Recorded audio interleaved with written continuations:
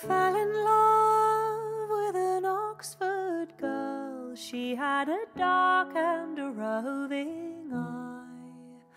But I feel too ashamed for to marry her, a being so young a maid.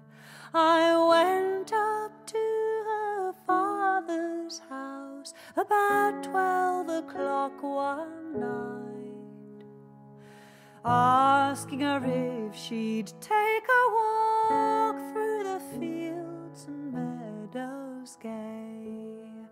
I took her by the lily white hand and I kissed her cheek and chin.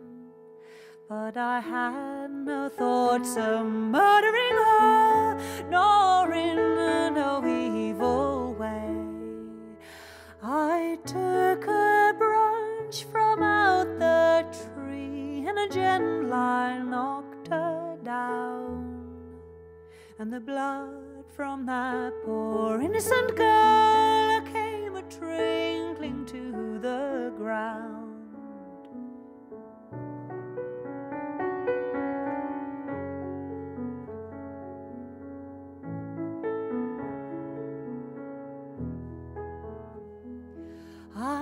catched fast hold of her curly, curly locks, and I dragged her through those fields until we come to a deep riverside where I gently flung